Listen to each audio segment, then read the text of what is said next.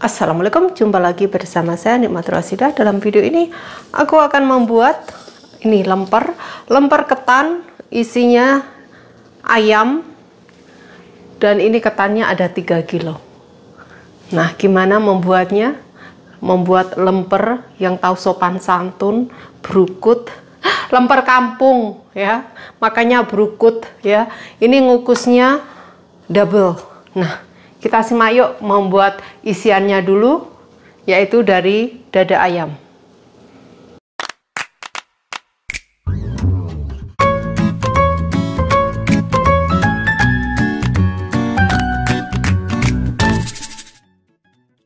Untuk ketannya saya menggunakan 3 kilo ketan, akan aku cuci dan direndam. Rendam 2 jam atau semalaman tergantung uh, ketan yang digunakan. Ini siapkan dada ayam akan aku rebus. Sekitar 1,7 aku kasih uh, kaldu dan juga jahe. Direbus sampai matang jadi nanti mudah untuk memasaknya. Ini ayam yang telah direbus sekarang disuir-suir yang air kaldunya jangan dibuang karena nanti akan untuk memasak. Ini semua disuir-suir dulu. Uh, mau menumis bumbunya dulu. Untuk bumbu lembar yaitu bawang merah, bawang putih, kemiri dan cabai biar pedas. Ditumis.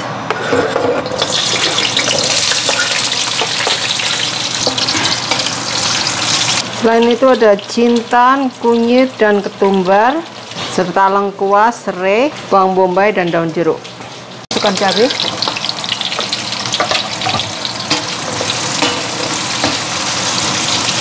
Setelahnya layu, nanti ditumis kembali. Masukkan lengkuas dan serai. Masukkan ketumbar. Dan ini di blender.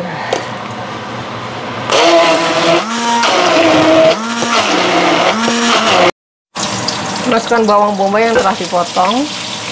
Dan juga daun jeruk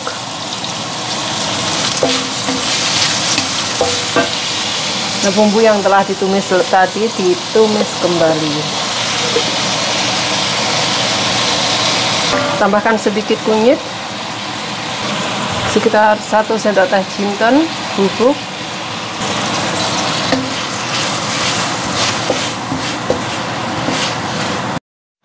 Setelah beberapa menit aku tambahkan kaldu ayam tadi beberapa sendok dan lanjut dimasak. Tambahkan garam. Dan ini ayam yang telah direbus dan disuir-suir masukkan ke dalam diolah terus sampai menyusut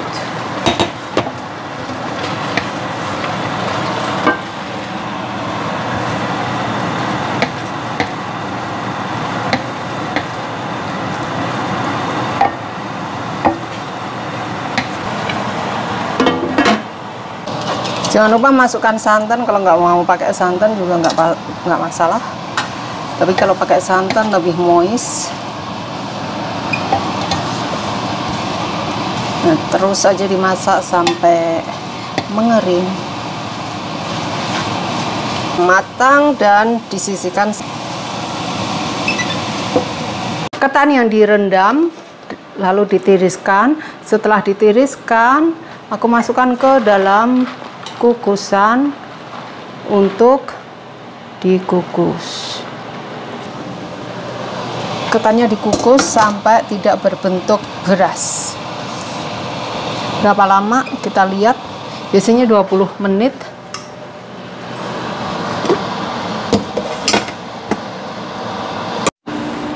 Untuk santannya saya menggunakan 1 liter, yang 1 liter ini dari dua kotak santan tapi santannya terlalu ini ya kalau ditambahin air kan kental. Jadi kayak mabyuk gitu. Nah ini yang kalengan karena butuh satu setengah liter kan ini yang kalengan lebih oke okay lah lebih halus. Kalengan tadi hasilnya lebih lebih halus ya. Tuh. ini yang kotak. Untuk bumbunya segini gunakan serai serainya digeprek lengkuas juga digeprek.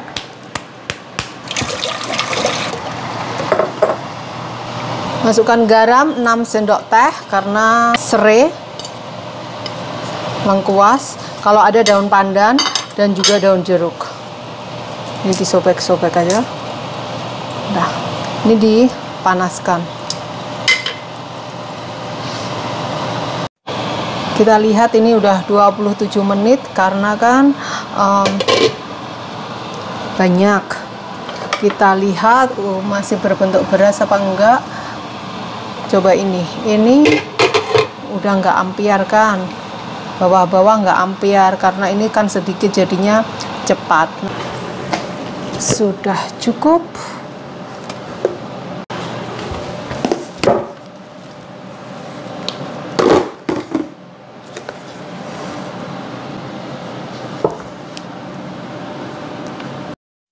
Nah ini ketannya untuk kukusan pertama ya. Jadi seperti aron.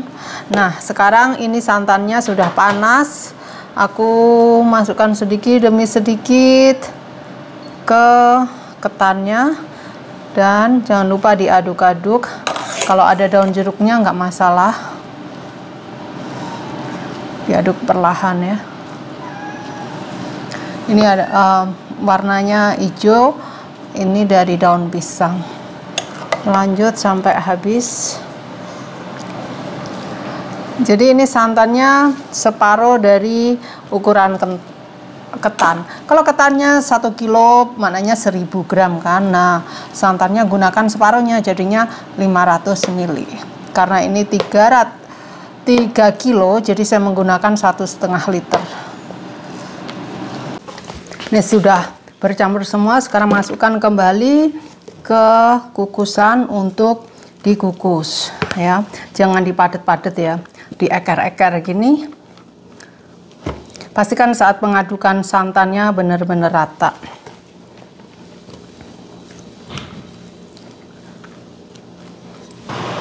Ketannya dikukus lagi benar-benar sampai matang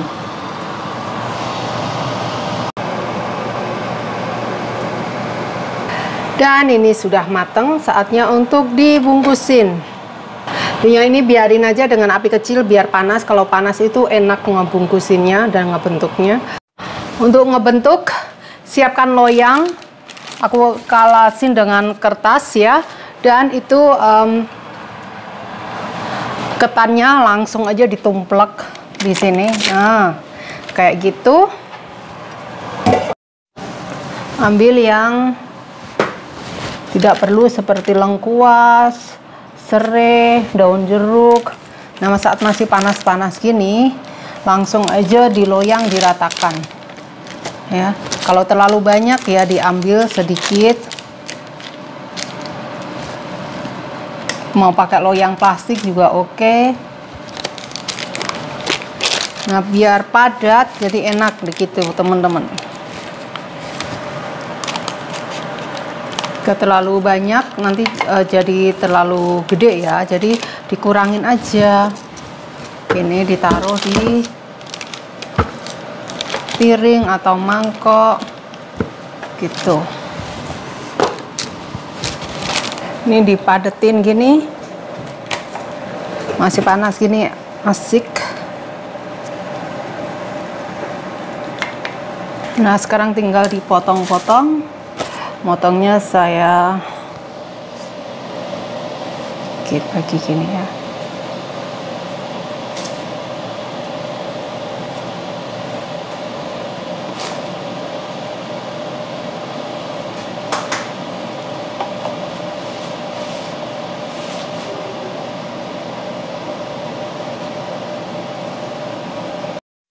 Dan ini fillingnya ambil secukupnya. Taruh di tengah.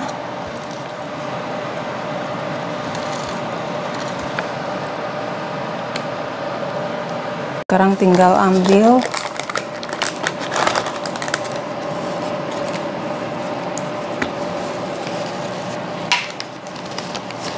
Dibulatkan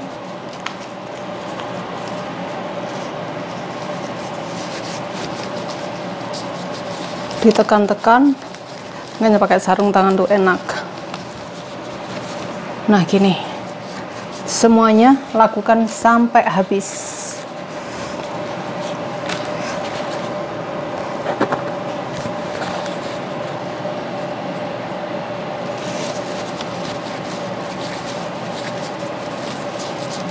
Dan setelah digulung-gulung gini dibungkusin seperti ini ya daun pisangnya udah dicuci bersih dan pastikan punya tusuk. Gini.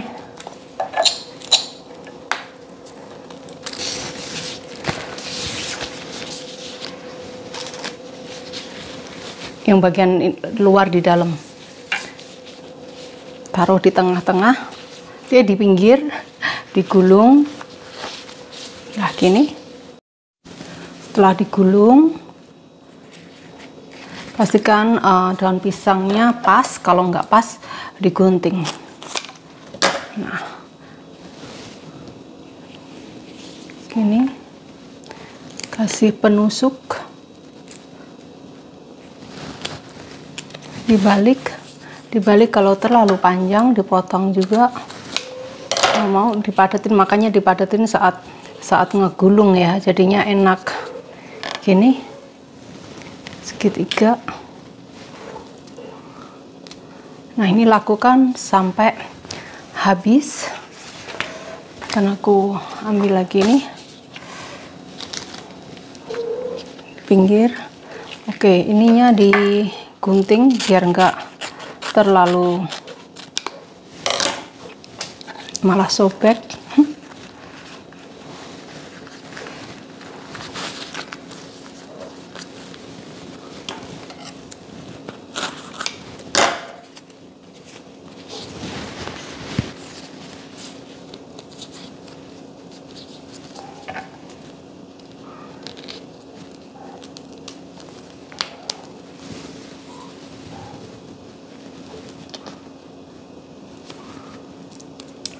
Oke, lakukan semua sampai habis.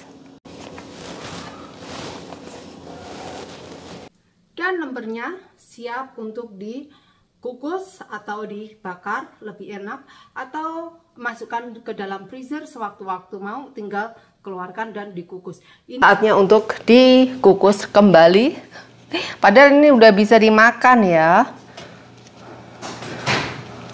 Tapi biar tanak asli lemper kampung. Ya lah kalau lemper kota kan nggak begini. Lemper kota mah daun pisangnya sedikit cuman di pinggir-pinggir atau di tengahnya aja. Sisanya plastik terlihat.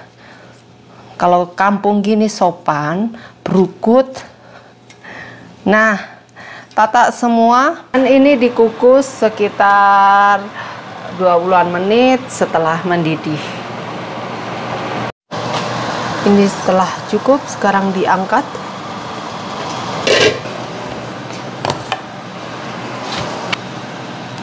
Harus aku keluarkan karena mau ngukus yang satunya ya. Ini 25 menit tadi saya kukus. Banyak isinya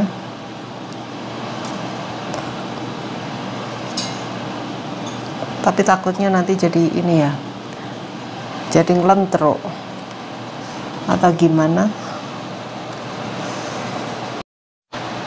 Saya tidurin aja karena apa nah kalau berdiri nanti takutnya jadi ini jadi ngelembrek kan lemes jadinya. Setelah selesai dilapin biar enggak berair dan biarkan dingin. Jadinya lumayan banyak maklum. Kan ini 3 kilo ketan